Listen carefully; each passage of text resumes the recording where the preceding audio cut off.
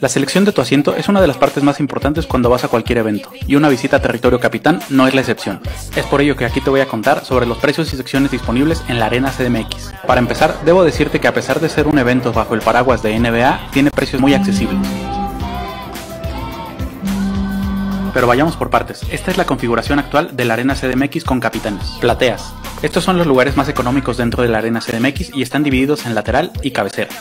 Preferente. En esta sección estás más cerca de la duela y también está dividido en lateral y cabecera. Y en el siguiente nivel está cancha. Si quieres vivir la experiencia de tener a los jugadores a centímetros de ti, esta es la opción.